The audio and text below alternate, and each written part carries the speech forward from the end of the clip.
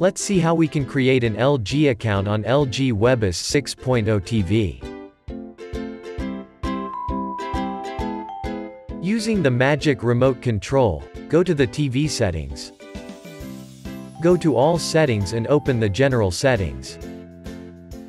Among the lists access the System Settings. Choose LG Account option access the account settings. In the new Web OS 6.0 there are three options to access an account. You can sign in using the ThinQ app. You can sign in using the TV browser. And you can sign in using the TV remote control. For now let's sign in using the remote control.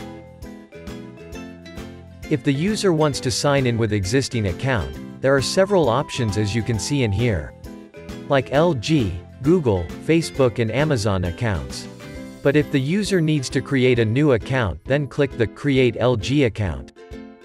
After reading each specific consent agreement select All and click Agree. Carefully input the email ID to that you will use to create the account on the pop-up window.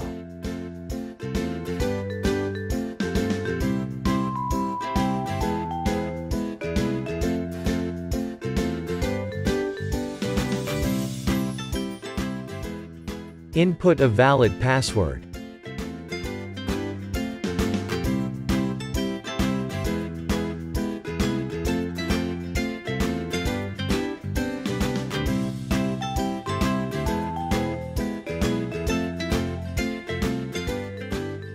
Date of birth is required, to make sure that a child is not operating the product. After inputting the correct credential informations, a confirmation email will be sent to the inserted ID.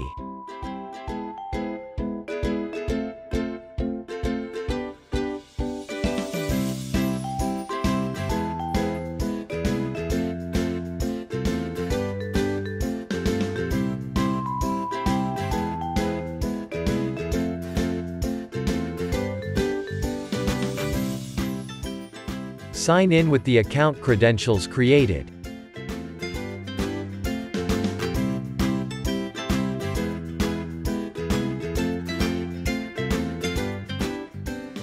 Once you are successfully signed in, you will get a confirmation pop-up window down below. Your account information will be logged here. You can also change your password from here. And if you want to delete your account you just need to click option. The new WebOS 6.0 Home Launcher will send a notification on the top whenever there are changes to your TV such as creating an account. You can check details inside.